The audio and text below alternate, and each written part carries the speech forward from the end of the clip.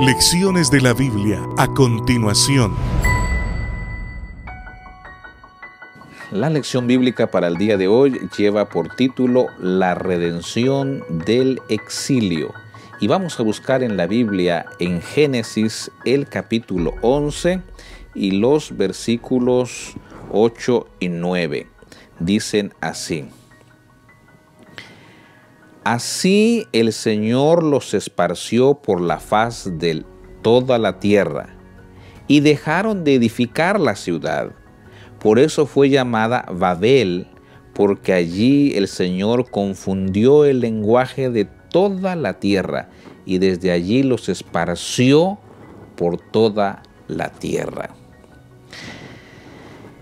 Curiosamente, curiosamente, Saben que Babel originalmente, dicen algunos expertos, significaba puerta de Dios.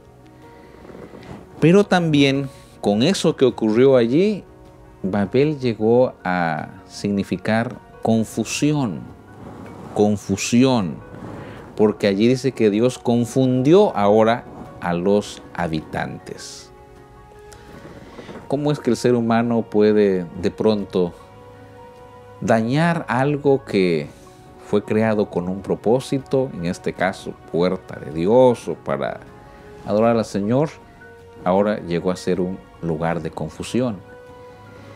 Y además dice que Dios los envió por todos lados, se esparcieron, fueron exiliados en diferentes eh, puntos de la tierra. Allá fueron a levantar su familia, su ciudad, en fin. Ahora, esa, diríamos, manera que Dios hizo para dispersarlos, de confundir sus lenguas, tenía un propósito. Y el propósito era la redención de esas personas. Porque como lo mencionamos en otra reunión anterior, Él pudo poner fin allí a todos los habitantes. Es más, ya estaban juntos. Era un solo acto para poderlos desaparecer.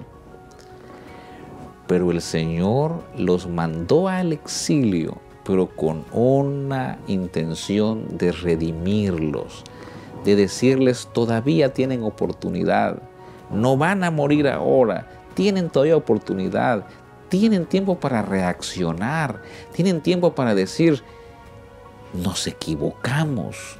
Y Dios ahora nos permite la oportunidad de hacer lo que sabíamos que teníamos que hacer.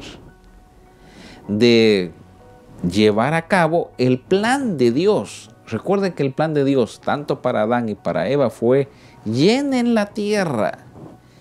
Y una vez que la tierra y los seres tuvieron que hacer un alto con el diluvio y quedar solamente una familia. Cuando Dios hace un pacto otra vez con Noé, le dice, vayan por todos lados, llenen la tierra, hay que poblar la tierra. Así que la instrucción del Señor siempre fue la misma. Ahora cuando se confunden acá con los idiomas, la intención de Dios sigue siendo, vayan por la tierra, vayan por la tierra. Yo me imagino a un Dios eh, como un padre cariñoso, amante con su hijo, cuando le dice el padre, hijo, tienes que ir a hacer tal tarea. Y el hijo se distrae, va por otro lado y luego, hijo, allá es la tarea. Y el hijo viene distrae tal vez al padre y de pronto el hijo piensa, ya se le olvidó y el padre dice, hijo, allá está la tarea.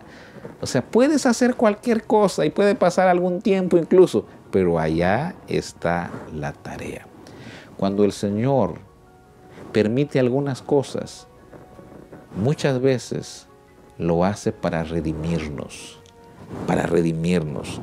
Por eso algunos han dicho, si no hubiese sido por mi enfermedad que el Señor permitió, yo no estaría de vuelta en los caminos del Señor. Él permitió eso para redimirnos. A veces tenemos que llegar al fondo de la soledad para que nos acordemos que hay un Padre, hay un Hijo y un Espíritu Santo que está para redimirnos y para vivir con nosotros. Que el Señor pueda permitirnos entonces que volvamos a Él. Que aprovechemos su segunda, su tercera o más oportunidades y que podamos decir, gracias Dios por estar pensando siempre en redimirnos. Que Dios te bendiga. Soy Ebrolero. Recuerda, hoy es el día de tu salvación.